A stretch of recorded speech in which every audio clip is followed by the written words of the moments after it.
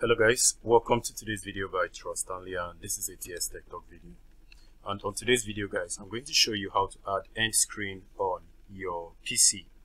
And guys, quick information, you can't do this on mobile. If you want to do this on mobile, all you need to do is to go over um, to the um, any browser on your mobile device and then you go to the studio.youtube.com just like I'm doing right now and then you convert your web browser into a mobile view or into a desktop view and you can be able to um, do the same thing I'm doing right now on your mobile. If not, you're not supposed to do this or you're not supposed to be able to do this on your mobile.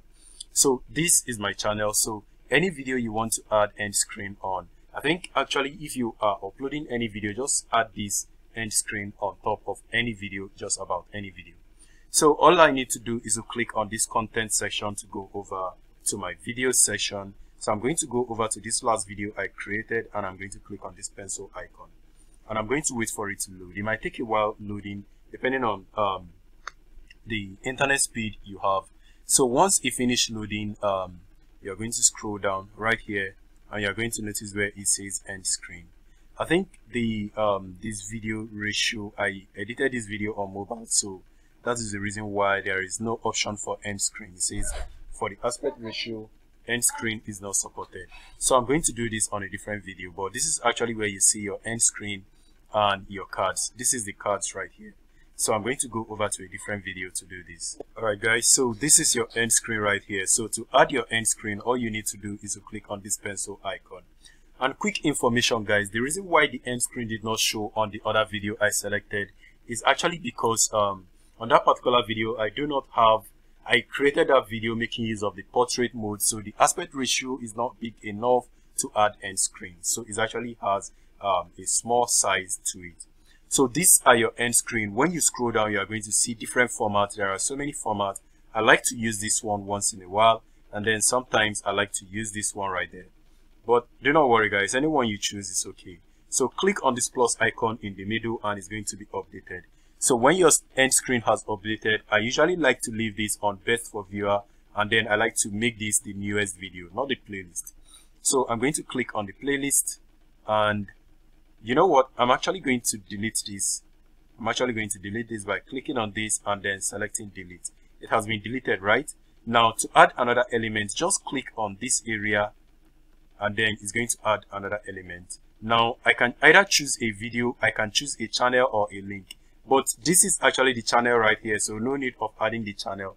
But if you decide to add a link you can just click on this but i think i'm okay with the video.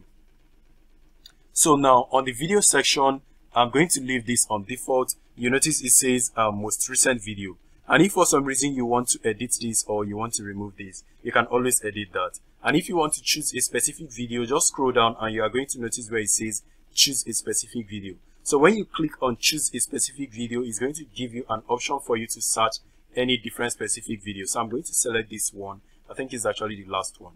So this one is going to give best for viewer, which is probably going to recommend the viewer to watch something that they like to watch or they have watched previously.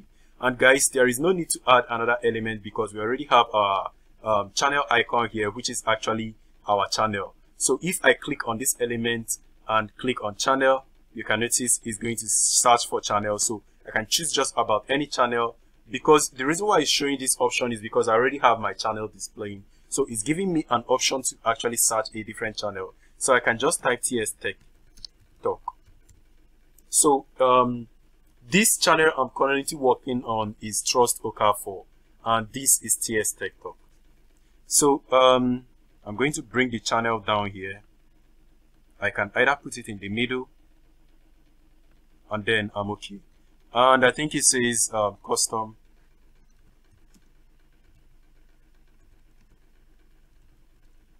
So you can add whatever you want on it and you are good to go. So once you're done, just click on save and it will be saved. So this um, end screen actually displays in the end of your video. So I think it actually automatically mentioned um, TS Tech Talk right there. So, but that's fine. And then another one is um, card. Now, card displays anywhere you want to have the card. I'm going to choose specific video. So I'm going to come to this particular timeline and I'm going to add a card by clicking on this plus icon and then I'm going to select video. I usually prefer selecting videos so um, it just displays on the on the on that particular section and you can actually add a customized message but I usually don't like adding customized message I like to leave it so that it's going to display the default um, channel title. So I'm going to come right here click on this plus icon and then add channel even more. So um, guys there is actually limit to adding cards. I think it's actually um, on default I think it's five either five or four. At the point it was five and then they later increased it to four. So I'm going to just add different card at random.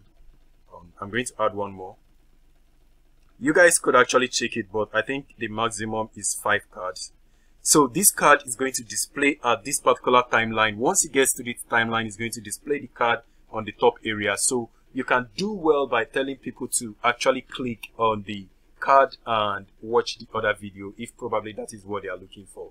You can watch some video and you hear people saying, if you are interested in this, click on the above link and it's going to take you to the video. This is actually what they mean. So this is card. So when you're done, just click on save. It's going to load up and it's going to be saved. So now this has been saved and there is no need for you to save your video because it's actually saved automatically. So this is all how to add your ad and your, your card and your end screen on your video on PC. So if you have any question, please leave it in the comment section. Hopefully, I'm going to be able to answer each and every one of them. And thank you guys for watching. I'm going to see you on my next video. Please stay safe and peace.